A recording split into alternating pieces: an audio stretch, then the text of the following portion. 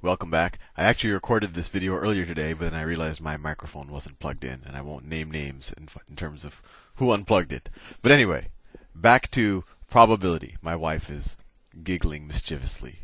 Anyway, so let's do a slightly harder problem than we did before. We we were dealing with fair coins. Let's deal with a slightly unfair coin let's say I have a coin and it's uh, actually instead of unfair coin, let's let's do basketball. Let's say I'm shooting free throws and I have a free throw percentage of let's see, free throw percentage is 80%.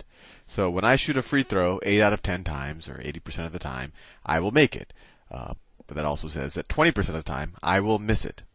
So given that, if I were to take, I don't know, five free throws, what is the probability?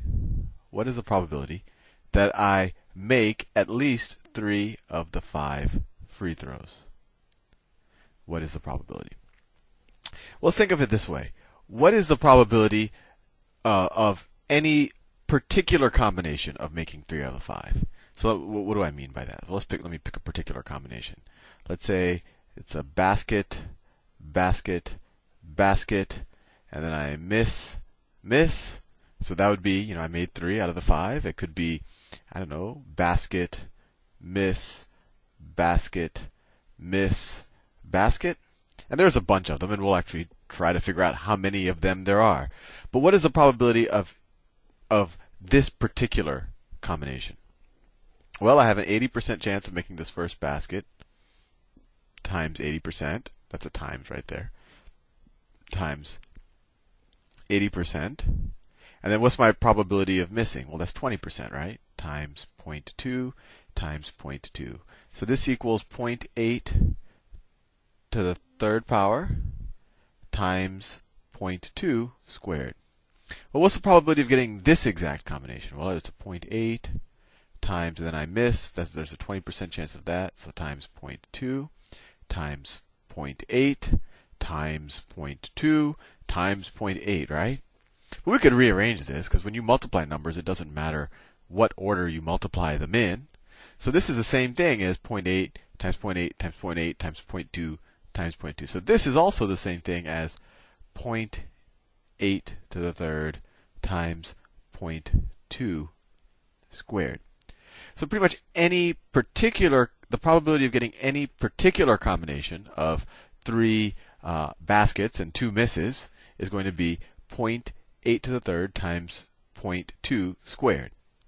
Now, what's the total probability of getting 3 out of 5? Well, it's going to be the sum of all of these combinations. You know, I could list them all, but we hopefully now are proficient enough in, in, in combinatorics and combinations to figure out how many different ways, if we have five baskets and we're picking, or we have five shots, and we're picking three of them to be the ones that are basket shots. So what do I mean? So let's say my, my five shots. So, you know, I have shot one, two, three, four, five.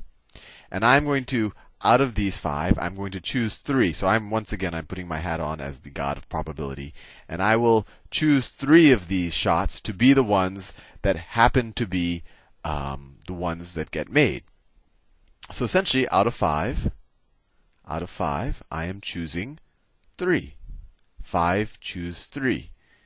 And what does that equal to? That's 5 factorial over 3 factorial times 5 minus 3 factorial. So that's 2 factorial.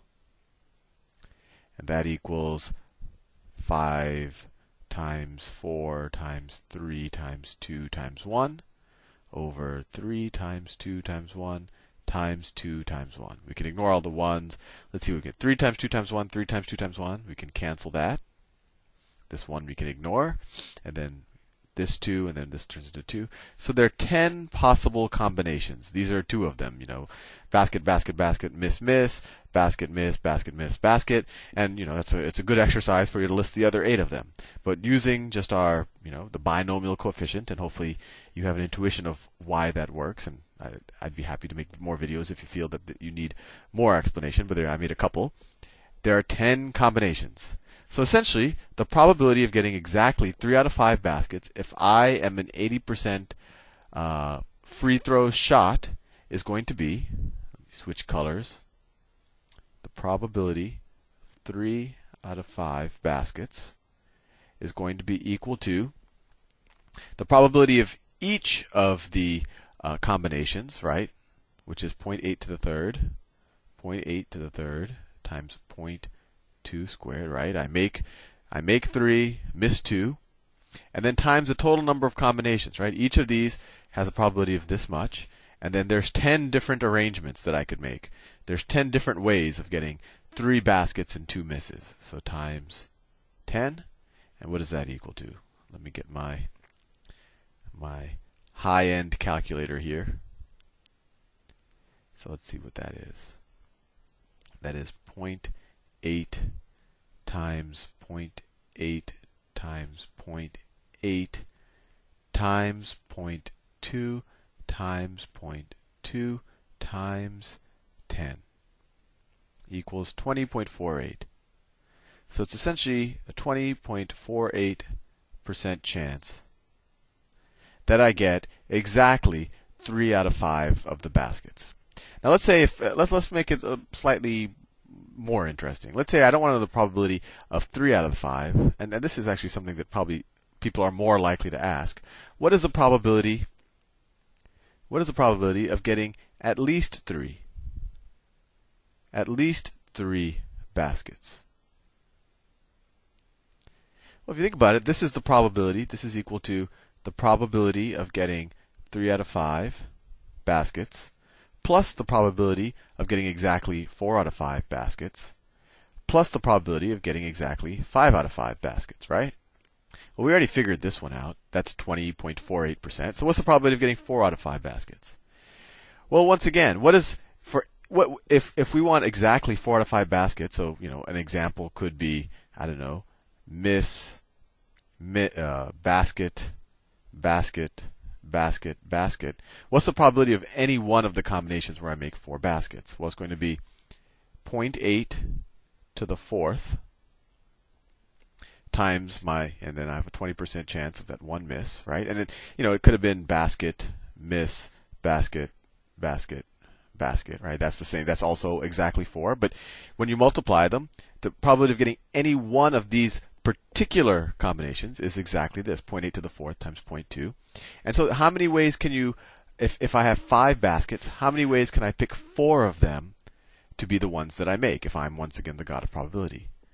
So, this, this is going to be 0.8 to the fourth times 0.2 times 0.2 times out of five baskets, I'm choosing four that I'm going to make. So this is the number of combinations where I get 4 out of the 5. So what does 5 choose four? That's 5 factorial over 4 factorial times 1 factorial. Well, that equals that equals just 5. You can work that out. So it's going to be so let's just figure this out.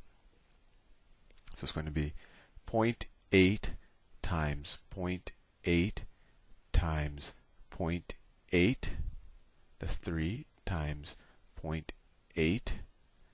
That equals, no, did I do that right? Let's see, 0.1, 0.8, 0.8 times 0.8. Yeah, that's right. Times 0.2 times 5 times 5. So 40.96%. So this is 40.96%. So roughly 41% chance that I get exactly four out of five baskets, which is interesting because that's kind of my free throw percentage. So you know it's almost a little less, you know, two thirds shot of, of kind of hitting my free throw percentage on the mark on that time. And that's probably of getting five out of five. Well, there's only one way of getting five out of five. You gotta have to get all five of them. So this is 0.8 to the fifth power. And let me get the calculator back. So it's 0.8 times 0.8 Oh, we times point eight times point eight times point eight times point eight equals point three two seven six. So point three so thirty two point seven seven percent shot. And then we can add them all up, right? Because we want the probability of at least three.